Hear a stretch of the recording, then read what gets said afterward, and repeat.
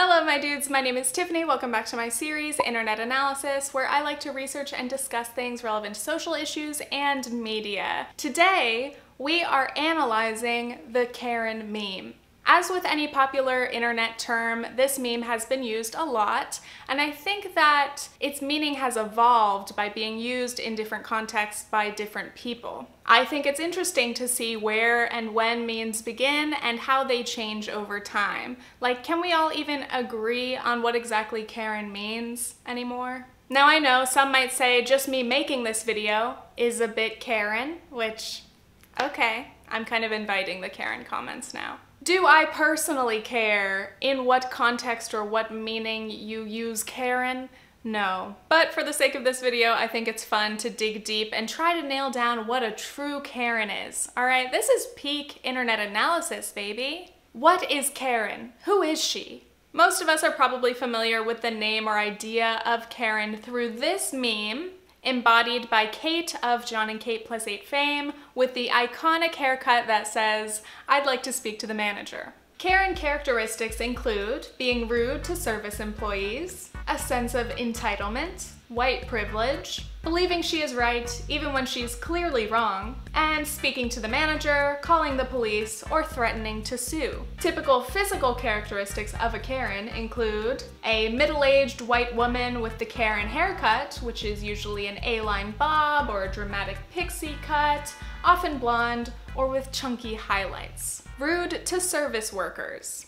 You can absolutely judge a person by how they treat service workers, be it in retail, food service, customer service. These people work very hard for low pay with few or no breaks. And Karen either doesn't know this because she's never worked this type of job, or she knows and doesn't care. When interacting with Karen, there's not going to be a kind greeting, there's no please and thank yous. She tends to treat workers like they work for her, and she definitely doesn't tip. There's a sense of entitlement. Karens feel entitled to special treatment, and rules and policies simply don't apply to them. This TikTok went viral recently because this woman feels so entitled to this parking spot that she is physically sitting on the car to block them from taking it.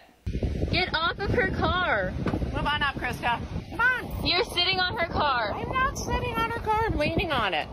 Please back up. Krista, this is your right spot. There's two spots! Just move. Karen behavior. Karen seems to think she is the most important person in any situation. You know, she needs or deserves that parking spot. In a store or restaurant, she is the only customer that matters. And just like anyone else who's worked a service job, I have had my fair share of Karen encounters. Like, dude, when I used to work at a large coffee chain, sometimes a Karen would come into a busy store, long line.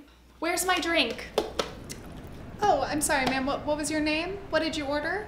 Venti ice black tea, light ice, no water, no sweetener, six Splendas. Oh, okay, this is it. There's just a few drinks ahead of it in line and then it'll be ready. I'm in a hurry. Can you just do mine first? I, I'm gonna miss my train. So she's in a hurry, did not order ahead, came to the store, saw the line, waited anyway, ordered, and then expects her drink to be made instantaneously, and then blames the workers for being late. Okay, ma'am, or maybe take a situation like her drink was made wrong. A normal customer would probably say something like, Hi, um, excuse me, I'm sorry. Uh, I just, I ordered almond milk because I'm lactose intolerant and this just tastes like regular milk. Would it be possible to remake it? I'm sorry, thank you. Oh yeah, no problem, it's policy. We'll remake it for you right now. Thank you. Sorry about that. But Karen would say something like, Oh, oh my god. Excuse me, my drink is wrong. I said almond. Did you listen? Did you hear me? Because this, ugh, this tastes like whole milk. Actually, you didn't say almond, but okay. And when you're working in this kind of situation, part of customer service is to keep smiling because the customer is always right. Hi, how can I help you? Oh, you would like your drink remade and a refund? Of course, my pleasure. Thank you.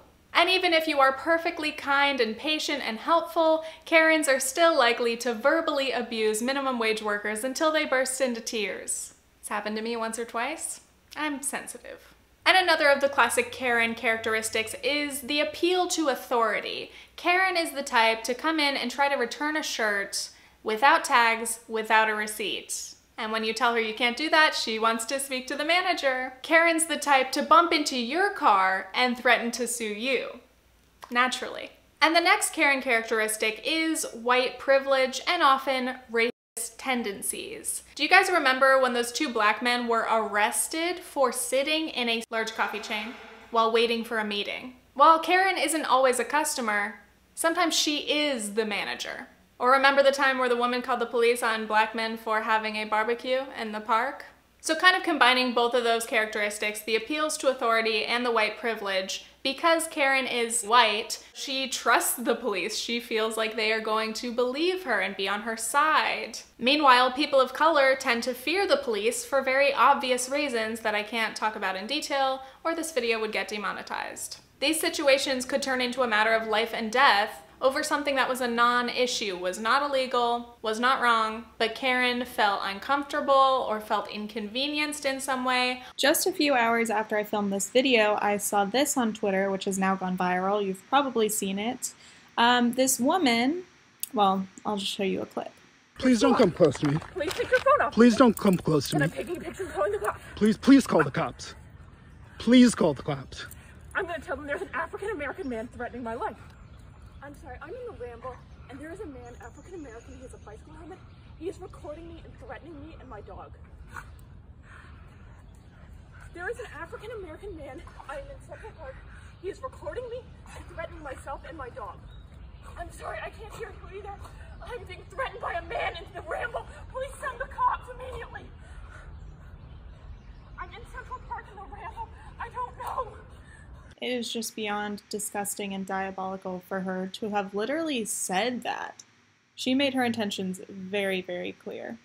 the Karens and the Beckys and the white woman, and most recently Miss Amy Cooper, know that the police are systematically racist and have and systematically target black people. Because they are aware- aware of this, it is now added to their arsenal of weapons to use against black people and black individuals for no reason. They know the police do this. They know the police kill us disproportionately. So it is now used as a weapon. It is now a new tool to further discriminate against and dehumanize or even threaten the lives of black individuals. Thank you, Amanda, for participating in this video. I asked her to respond to a few questions for this because I love her perspectives. If you are not familiar with her channel, it is fantastic. I highly, highly recommend that you guys check it out. So, once again, thank you, Amanda. And there are going to be more clips of her in a little bit. Anyway, continuing on, a tweet went around last month asking, Does anyone else think the Karen s- is woman hating and based on class prejudice? Um, oh my god. It's obviously not a slur. Obviously. The whole idea of Karen being a slut is a hunk of junk, for me to say politely. Karen is a name. The N word is not a name given to people.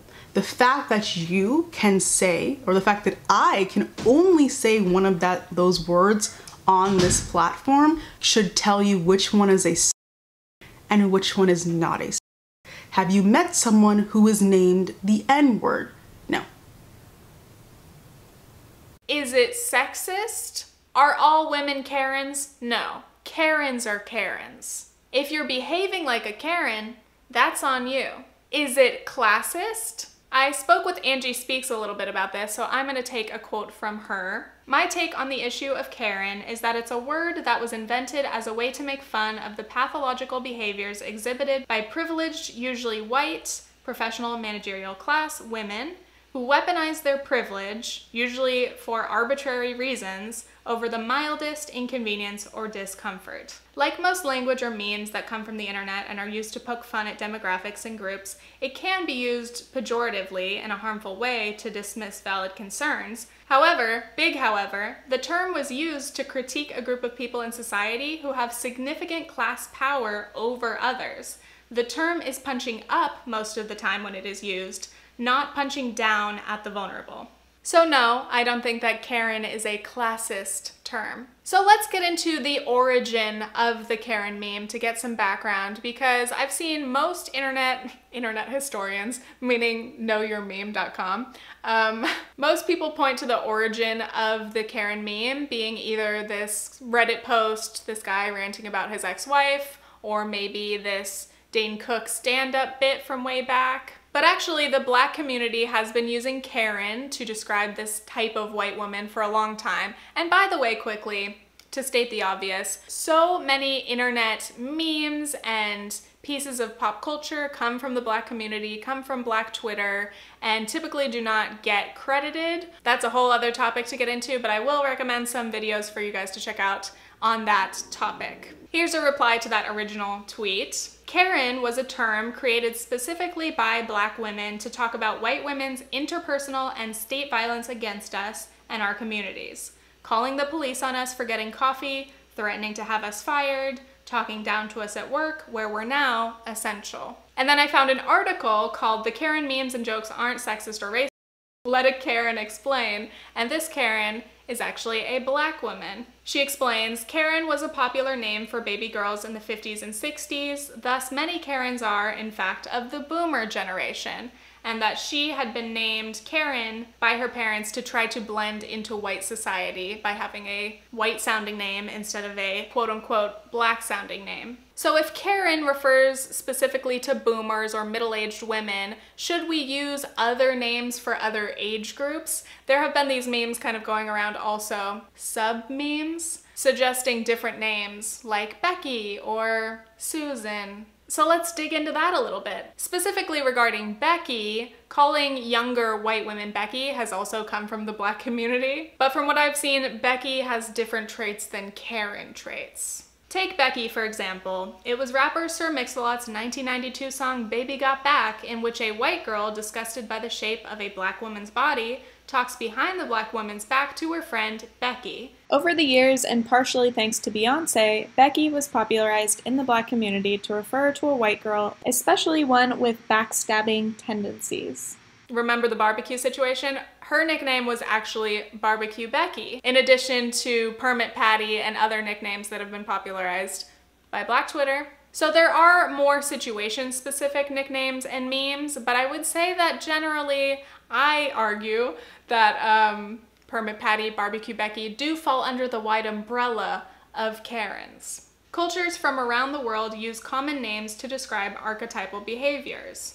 Karen and Becky are common names for white women. You hear them quite often. That's why they're used as like now they're being used to represent white woman privilege and we see it in songs. We see it, Beyonce sung um, Becky with the good hair and Lemonade and Sorry. So it's currently now being used. It's taken a common name that a lot of white women are named and it is now the representation of white female privilege, which is often ignored or pushed aside when we're talking about feminism.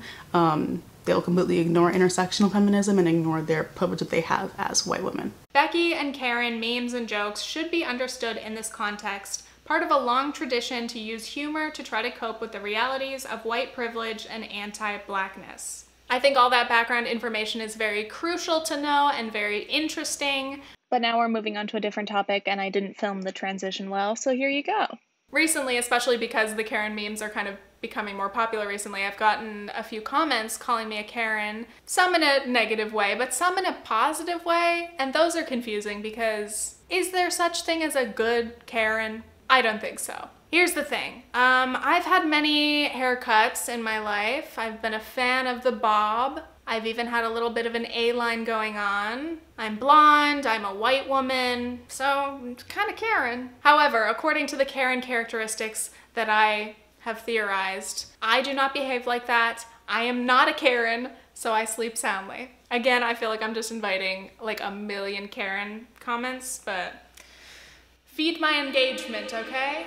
Anyway, that brings me to the next topic. As this meme has become more and more popular in the mainstream, I've seen it used in different contexts, and I've noticed that some people use Karen to just describe any woman that annoys them or any woman that they don't like. White woman, that's a Karen. And okay, let's talk about this. Being on the receiving end of this as a white woman, offhand comment, being called a Karen, blah blah blah. Thanks, Karen. It's obviously not a big deal. It is nothing to be personally offended about. Again, if you're not being a Karen, if you're not exhibiting Karen behaviors, you're not a Karen. So don't take it personally. Quickly going back to that tweet asking whether Karen is a woman hating term, I don't think the name or term Karen is inherently sexist, but it certainly has been used in misogynistic contexts to where it's not about hating Karens or being actual Karens, it's about hating all women and just calling them Karen as an insult. And again, I don't personally care who uses this term right or wrong, quote unquote. But there is something to be said about the precious specificity of a meme, all right? Call me a meme purist, but I feel like memes have specific meaning. And if they are used in ways that disregard the meaning, then do they lose all their meaning? I am thinking way too deeply about memes today. And always. So for researching this video, I was looking through Twitter and just searching Karen to try to see what came up because I've been noticing some kind of alternative definitions of what a Karen is. And mostly it's like older white people calling each other Karens or seemingly getting confused about what a Karen is, calling everyone a Karen. Probably a lot of this going on on Facebook. One alternate Karen definition I found is someone who wants to kill the fun, the hall monitor, the snitch, the tattletale. And I had never really considered that to be part of the Karen narrative, you know? But let's see if there's any truth to this. If there is truth in memes, what is life? But by the way, this is probably why some people might call me a Karen.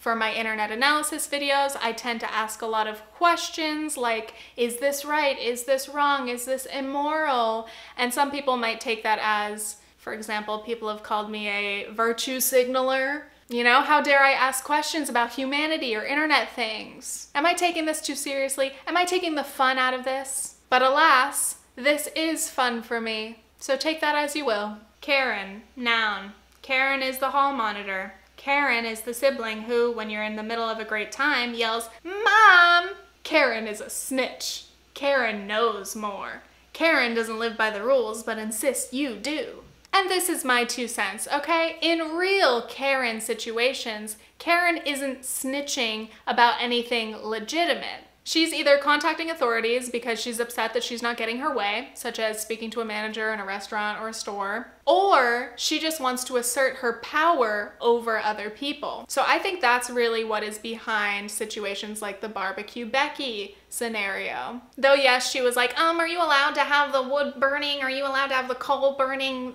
barbecue? She pretends like it's about the rule issue, but I think she cares less about the actual situation it's not that it's about someone breaking the rules and she's going to tell on them, whoever they are. It's the fact that it was specifically black man or a black family altogether, and she felt compelled to tell on them, to snitch to the police over a barbecue when that certainly would not have happened if the people there were white. Like, I think if she's right, then this is not a Karen situation. Like, if a woman sees somebody lighting a car on fire and calls the police, She's not a Karen. She's a concerned neighbor. She's seeing a legitimate crime. It's dangerous to the community. Of course, I've got to have a, wholesome southern accent. So, if this hall monitor type is not Karen, then who is she? Because we need to have terms that are specific and define these actual behaviors. So, I thought maybe we could call her a Debbie Downer or perhaps a buzzkill instead. There was also a video I saw on Twitter of this stair jump. Okay, just watch. I do understand. We, we've come a long way to get this. We're right here. I'm sorry, you're not allowed. To... We're right here. No, it's You don't- you don't legal, understand. Legal ramifications. No, there's no legal ramifications because Yes, we're gonna. there is. There's one more try and then we're it's out. legal justifiable. You can get off my cart. Call the sheriff, please. This person's being belligerent. Not belligerent. Call the sheriff. Help me move this bitch. Help me move Call this the bitch. sheriff, please. Just go for it. So these guys are coming to do their tricks. They're on a bike, they're gonna jump the stairs. I understand extreme sports, but this woman, obviously, she works for the school in some way and she is trying to stop it. She's the man, she's trying to shut it down, she's trying to ruin the fun. This accent is really sticking. Some people have called her a Karen. Is she a Karen? Does she have the Karen characteristics? Let's find out. Well, first, she may have the haircut. Second, she does threaten to call the police so many times. We can call the sheriff. Um, will you call the sheriff, please? Call the sheriff, please! However, it is her job to protect the school. She appears to be a school administrator supervisor type. And actually, I found out that that school was actually near my hometown in Orange County, California. So I'm familiar with that type of lady. I had a few at my school. They drive their golf carts. Yes, they get drunk on power, but it's her job to stop people from jumping 20 stairs on a bike. This is a close call, you know? She's definitely a buzzkill, and her literal job is basically a professional hall monitor. But I would argue she's not exactly a Karen. And that's my hot take. Then I saw this other post. A Karen will frequently post to the local Facebook page the following. I saw 10 kids riding their bikes and no masks were worn. What were the parents thinking? And again, referring back to the classic Karen characteristics, I would argue that's not a Karen. That sounds more like an overly protective, nosy suburban mom. And finally, we get to the Corona Karens, a special breed. Obviously, with the pandemic, stores have created new policies requiring customers to wear masks, stand six feet apart, and usually follow these little arrows on the floor to maintain orderly traffic in the store. But the Karens will not stand for that. There are videos going viral of people behaving like this. Wow. She's coughing on him. Wow. Oh, she's fitting. In the kindest terms possible, the biggest understatement, you could call them disgusting or selfish. But really, they are the worst type of people. They're deliberately putting other people's health and safety at risk other people being essential workers who are largely minorities and who are definitely not paid enough to deal with that kind of bullshit. Now, on this note of Corona Karens, I have noticed um, there's kind of a political divide in the interpretations of what makes a Corona Karen. Is Karen the one militantly enforcing masks and social distancing? Or is Karen the one fighting to end the lockdown and also coughing in people's faces? Well, from what I've seen, the left wing perspective, or really anyone who's not a monster or who believes in science, who are the Corona Karens? They are the people harassing nurses and essential workers. Rude to service workers? Check. They are the people who refuse to wear masks or comply with the rules. I work for Costco and I'm asking this member to put on a mask because that is our company policy. So either wear the mask And I'm not doing it because I woke up in a free country.